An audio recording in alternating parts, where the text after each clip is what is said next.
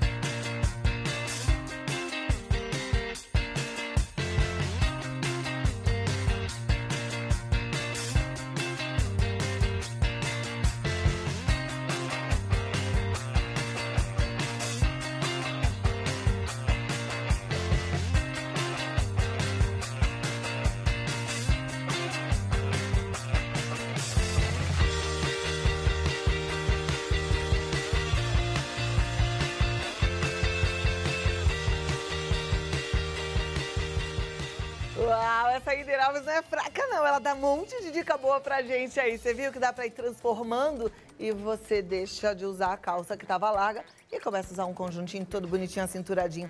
É isso que a gente tá propondo pra você. Autoestima elevada e você se sentindo cada vez melhor, tá?